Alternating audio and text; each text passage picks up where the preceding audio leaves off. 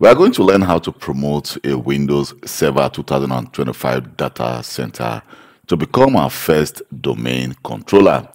So I've installed this Windows Server 2025 as you can see and I've also changed the computer name to become DC01 and again we've also assigned a static IP address to this device. And here you can see the IP version. 6 is enabled but we've, we did not assign a static IP address. But you can as well disable the IP version 6 um, address, which of course is not necessary for your data center. So what I need to do is to go to my dashboard and here we need to click the add roles and features. You can see in the, before you begin in the add roles and features wizard, you can always skip this by default, but I'm going to click next. Is going to be a role-based or feature-based installation, but you can also do, do a remote desktop service installation. Since install the, the install required, required roles service for virtual desktop infrastructure, but we are going to go for the first option and then click next. Here we only have one device. This is which is our first DC 01 which are domain controller so i'm going to select a server from the server pool, uh, pool or we can select a virtual hard disk but i'm going to click next and here is what, where we are going to select the Active Directory domain service. I'm going to select that.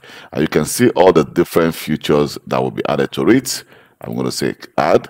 And also, we want to also make the uh, domain controller our DNS server. Server. If you are working in a very big company or in a big enterprise organization, definitely they may have different DNS server than the domain controller. But because this is a test environment, I'll be adding my my domain controller is going to be also functioning as my DNS server. So I'm going to click next. Here I'm just going to leave this for now and then we can also include in the later on we can actually decide to add some other features. For example, you want to uh, configure BranchCache, BitLocker and every other options. You can see we have a lot of options here. So I'm going to click next and then click next. For the DNS server, I'm going to just as well read this and then click next. So now we can now check and if we can actually check, we can also export the configuration settings. We can specify an alternative source path. So I'm just going to click install. So this first of all, there are two options. It's going to actually install all the different features and roles and then we can now promote the server to become our domain controller. So let's just wait for the installation installation to complete and then we can promote our server. So here we go. You can see that it says the feature installation have been completed, and you can see we have a kind of a yellow check mark here which says we also we need to complete some other configuration. So we have the option to actually click promote the server to a domain controller, or we can click there. So I'm going to say promote the server to become a domain controller, and let's just wait. And now we have different options. It says add a domain controller to an existing domain so we don't have an existing domain, so we are not adding a domain controller to an existing domain. Add a new domain to an existing forest, we are not doing that. We are adding a new forest. So I'm going to say add a new forest. Here I'm going to go for the following. So let me just use the Kelv Global ICT.com. So we're going to be using the following domain name, which is the Kelv Global ICT. So it's going to be a, the root domain is going to be a .com and not a BE or dot um, IT, or if you're living in Italy or Belgium things like that, you can also use a different domain name. So let me just click next for that.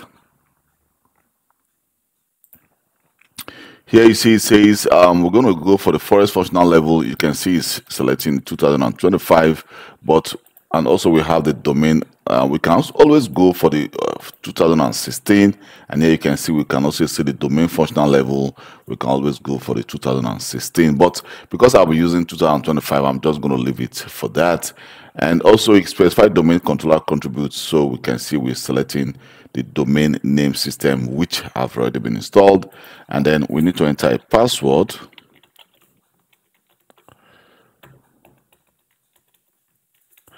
and then click next. Here you're going to receive a kind of a yellow check mark which is okay. You can click show more to see the message which is being displayed kind of a warning message. So let's just click next. And it's going to verify the NetBIOS name to see if it has already been used. So I think we are free to go. So I can now click next. And here the database folder, the log file uh, files folder and the SYSVOL folder can be changed. So we can actually just click here, for example, to refer to, for example, if you have a network share, if you have a different, uh, for example, a file server, you can always put your database folder to that server. But for this purpose, I'm going to select the default and then click next. And here you can see all the information. We can as well click view script.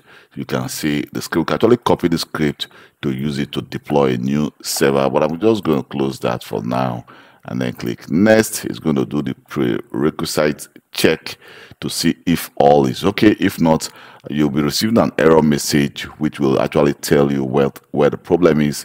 You will need to actually go and verify. So right now you can see it is all green. This is just a yellow kind of a warning, but it is a standard message that you received. So now we need to click install. And this is going to take some few minutes. Definitely after installation, your server will restart. And then we are going to log on to our first domain controller. Here we go. You can see that my server is actually trying to restart right now, which is a standard process. So when your server is restarting, please don't shut down the server, just wait for it to get restarted. And then the installation process will continue and you will log on to the server as in a domain controller environment, not in a standalone environment.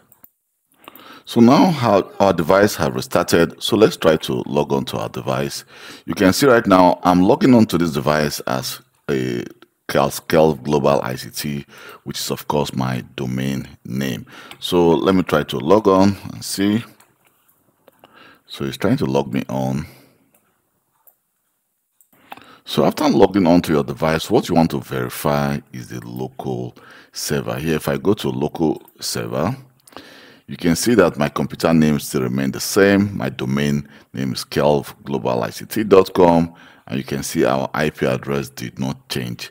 But please don't forget to always assign a static IP address to your domain controller or even your domain servers because assigning a, uh, allowing the DHCP server to assign an IP address to your server may cause you a lot of issues because when, for example, your file servers or your DNS servers or other servers try to contact the domain controller and the IP address change, there may be an issue for your users trying to retrieve their files. So that's why it is actually very, very important and compulsory, actually a Microsoft, Microsoft best policy to assign a static IP address to your domain controller. And here also you can see if I go to DNS, you can see this is also functioning as a DNS server. And don't forget to reinstall the VMware tools on this device. You can see that the resolution also changed during the installation, the um, promoting our server to become a domain controller. So the resolution of the screen also changed.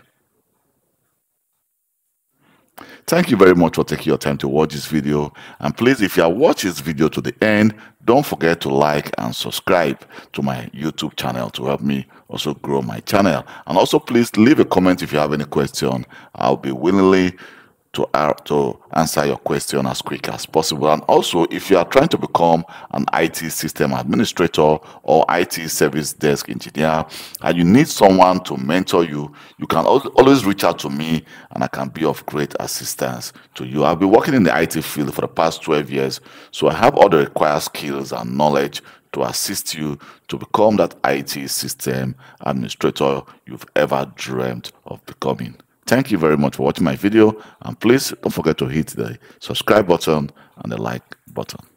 Bye.